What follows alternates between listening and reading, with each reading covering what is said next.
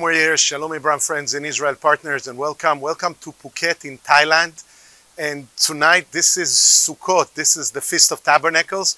So you can see this uh, hut, this shak, this tabernacle that is right behind me right now.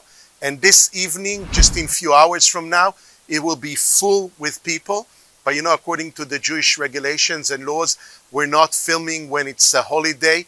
So I cannot do that when it's full with people and they're celebrating. It's like a Shabbat, but uh, I can do it a little bit before. Still, they have some decorations to put in, but the tables are already set with the plates and everything is right in the spot, on the spot. And then when the celebration starts, after people will be in the synagogues, they'll bring the food and people will be here celebrating in a festive uh, environment, in a beautiful, beautiful atmosphere because the Feast of Tabernacles, literally the idea is to remind us of the freedom that God gave us when He delivered us from the slavery in Egypt and took us through the desert for 40 years until He brought us to the promised land. So we know straight from the Bible, God tells us this is a week that we have to set aside, a whole week for us, for the people of Israel, to remember the miracles that we went together with God, how He took us through the desert, defeated our enemies,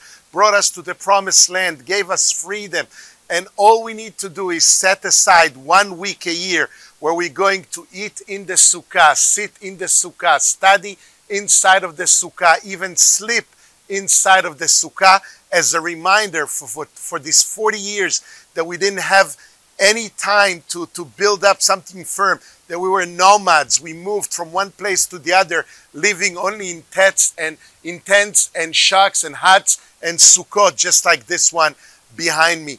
This is a wonderful time that the parents, the fathers, the mothers are educating the children, showing them what it was about to get out from slavery into freedom and let them experience this very shaky kind of atmosphere when you don't have a firm bed, you don't have a, a place to, to shower, you don't have uh, the, the, the, you know, the lavatories that you usually uh, used to. You have to live in such a temporary mode so you'll realize and understand what a beautiful promise God gave us and how amazing it is to come back to the promised land and enjoy freedom and life over there. But never forget our forefathers and Moses, the amazing prophet who led us through the desert, took us through enemies, took us through the resistance of the enemies of Israel, and brought us all the way into the promise of God, into the land of milk, in the land of milk and honey, the land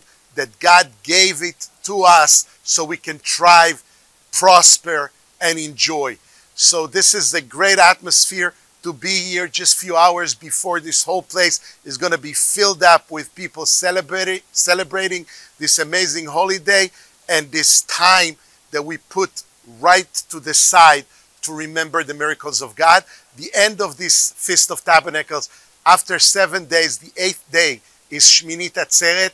It's the time that we finish reading the entire Torah, five books of Moses, and restarting again the cycle of life restarting again to read, and we'll talk about it when the time comes. From here, from Phuket in Thailand, I say bye to you. Happy holiday. Happy Feast of Tabernacles. Shalom.